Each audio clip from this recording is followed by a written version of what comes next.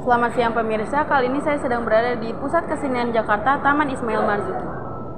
Taman Ismail Marzuki merupakan sebuah pusat kesenian dan kebudayaan yang berlokasi di Jalan Cikini Raya nomor 73 Jakarta Pusat. Di komplek tim berdiri juga Institut Kesenian Jakarta dan Planetarium Jakarta. Tim juga memiliki enam teater modern, perpustakaan, balai pameran galeri, dan gedung arsip.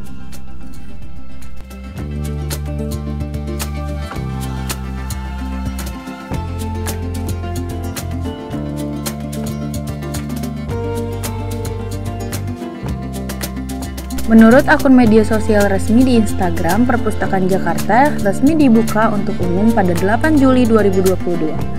Untuk operasional perpustakaan umum ini buka setiap hari, mulai dari jam 9 hingga jam 17 WIB.